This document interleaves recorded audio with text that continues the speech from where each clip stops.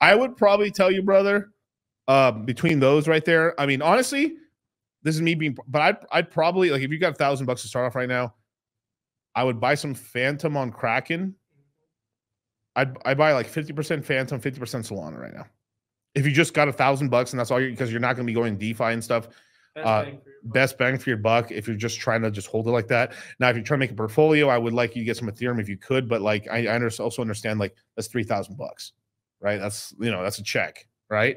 It takes a while to do. So it's a sort of thing where like you know if you're gonna like especially if you're starting off and you're, you're like it's gonna take you a minute to learn how to use you know not your keys, not your coins, but it's gonna take you. I understand if people leave their money on an exchange in the beginning because they're trying to learn get their feet wet, but I would definitely recommend brother joining the Citadel and learning about MetaMask and learning about maybe the Phantom wallet because like you could have a mobile wallet like Phantom or you, actually the fastest way to do it would be actually making the Exodus wallet because you could have Exodus wallet on mobile and on um you can you can, it's it's originally it's a it's a wallet for for this but they have a decent mobile app. You could then take your Fantom even if it's the ethereum version or the or the Fantom version on on your on the app and the solana as well and you're chilling.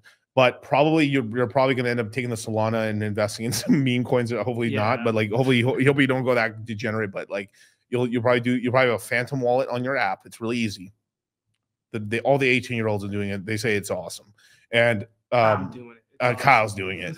and um Exodus is a decent wallet just to start off to put the Fantom, just to get the get it off the hell off the exchange. But I would 100% recommend. Um, yeah, don't. I mean, basically, now that isn't completely correct. Now, if you're a larger net worth individual and you're buying larger amount, yeah, but like we've been saying for a long time, buy Ethereum over Bitcoin. But we're getting very close in the market where like, hey, even Ethereum's getting very overpriced because we're buying it at eight hundred dollars. It's almost at four thousand. You know what I'm talking about? So like, it's still it's still buyable, still viable to buy. Like if I'm if, like I like I could be like, ah, all right, because it's a safe buy. I mean, you like you like you know, there's a three four x lock minimum on it.